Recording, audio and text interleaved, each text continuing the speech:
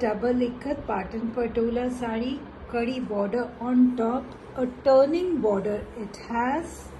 And then that's the flower motif pallu. It has a black base unusual. And then on top pop of colors Paan Chanda design. Top and bottom borders are the same. Going closer to show you the pixels, consider the king and queen of all the saris. These are ultimate saris. Two pallus on both the sides, zari pallu on one side, without zari on the other. No blouse. Traditional, ultimate, takes almost a year to weave.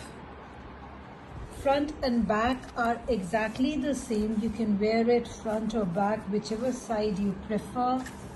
They are exactly the same. I love this double ikat Patan patola with such beautiful colors on top of black.